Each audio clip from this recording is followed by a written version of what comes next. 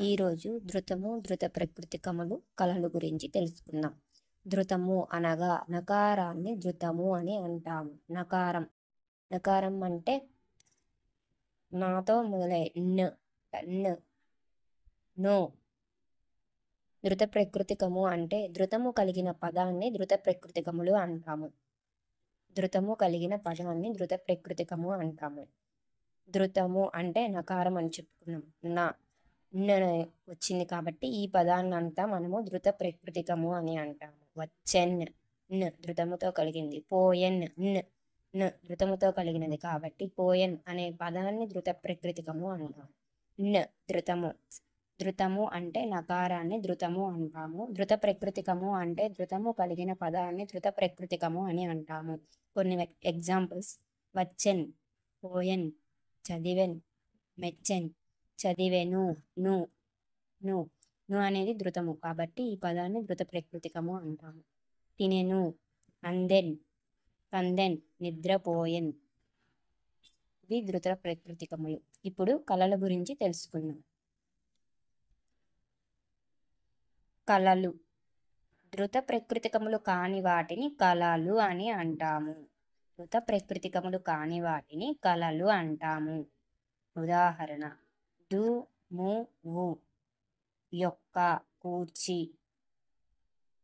వీటికి ఇన్ అనే ధృతము చేరలేదు కాబట్టి విభక్తి ప్రత్యయాల్లో వీ వీటితో పాటు మిగిలిన వాటిని కూడా కలిపి కళలు అని అంటారు.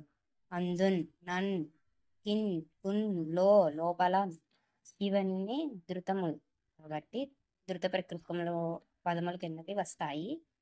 వీటికి నకారం లేదు కాబట్టి ఈ మిగిలినవి కళల కిందకి వస్తాయి. రాముడు సీత అడవి తినిరి వెళ్ళిరి కొట్టక తిట్టక ఊరక విన్నక అనే పదములు కళల కిందకే వస్తాయి. అంటే ఇప్పుడు కొన్ని బిట్స్ చూద్దాం.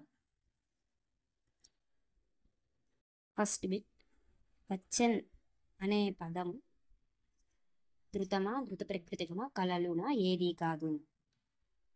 పచ్చన్ అంటే ధృతముతో కూడిన పదము కాబట్టి గ్రీన్ ఆప్షన్ ఈ సెకండ్. నెక్స్ట్ వచ్చన్ అనే పదంలో న్ అనునది. ధృతము ధృత ప్రకృతికము కళలు ఏది కాదు. న్ అని సపరేట్గా ఇచ్చారు. న్ నకారంతో కూడిన పదమును ధృతము అంటాము. Option is first one. ఓహా అనే పదము ఈ కింది వాటిలో ఏది? ధృతమా ధృత ప్రకృతికమా కళలునా ఏది కాదునా? ధృతము అంటే నకారంతో కూడా ధృత ప్రకృతికము అంటే నకారం ఒళ్ళు ఉన్న పదంతో పదాన్ని ధృత ప్రకృతికము అంటాము. కళలు అంటే నకారం లేని మిగిలిన ఏ పదం వచ్చినా కళలు కిందకే వస్తుంది. కాబట్టి ఆప్షన్ ఈస్ థర్డ్ వన్ కళలు. నెక్స్ట్ విభక్తులు. విభక్తులు ఎనిమిది ఉంటాయి. విభక్తులు ప్రత్యయాలు. ఫస్ట్ ప్రథమా విభక్తి. ద్వితీయ విభక్తి. నిన్ లన్ కూర్చి గురించి.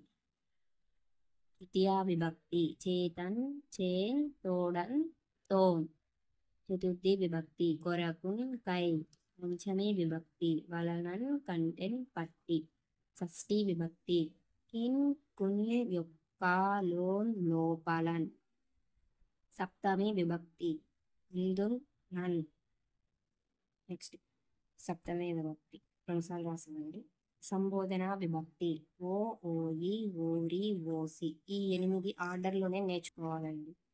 సారి అండి ప్రథమ విభక్తి డుమువులు ద్వితీయ విభక్తి నిన్ నున్ లన్ కూర్చి గురించి తృతీయ విభక్తి చేతన్ చేన్ చతుర్థి విభక్తి కొరకున్ కై పంచమి విభక్తి వలనన్ కంటెన్ పట్టి షష్ఠి విభక్తి కిన్ కున్ యొక్క లో లోపలన్ సప్తమి విభక్తి అందున్ నన్ సంబోధన ప్రథమా విభక్తి ఓ ఓయి ఓరి ఓసి.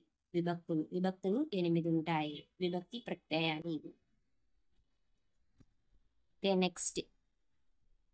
ఉప విభక్తుల గురించి తెలుసుకుందాం. ఉప విభక్తులు మూడు. ఈ టీ టీని ఉప విభక్తులు అంటారు.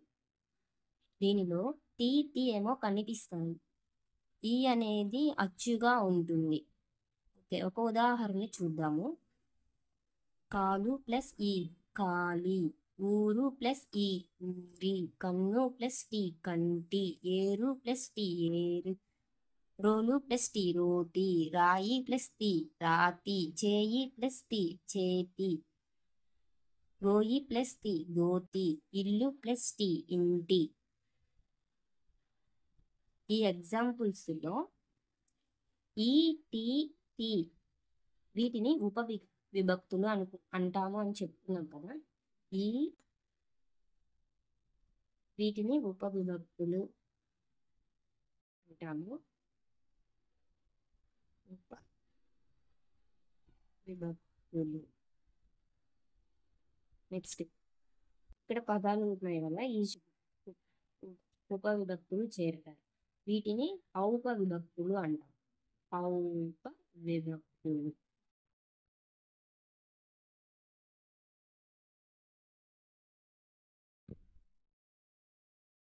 వీటిని ఉప విభక్తులు అంటాము. వీటిని ఉప విభక్తులు అంటాము. ఒకసారి చూసుకోండి ఫ్రెండ్స్ జాగ్రత్తగా గమనించండి. ఇప్పుడు బిట్స్ చూద్దాం.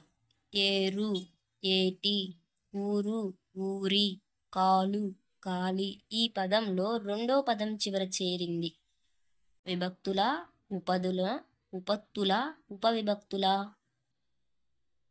ఆన్సర్ ఈస్ ఉప ఈటి ఈ ఉపవిభక్తులు ఉప విభక్తులు అంటాము. కాబట్టి answer is fourth one. Next కింది వాటిలో సత్యాలు. గోటి పదంలోని ఉప విభక్తి ఈ. నెక్స్ట్ గోటి పదంలో ఉప విభక్తి టీ. కూచి గురించి అనేవి సప్తమి విభక్తి ప్రత్యయాలు. పట్టి అనేది పంచమి విభక్తి. వీటిల్లో correct answers. Second one and fourth one. గోటి పదంలో ఉప విభక్తి టీ. పట్టి అనేది పంచమే విభక్తి. ఇవి రెండే సత్యాలు. మిగిలినవి అసత్యాలు. కాబట్టి ఆన్సర్ ఫోర్. Second one.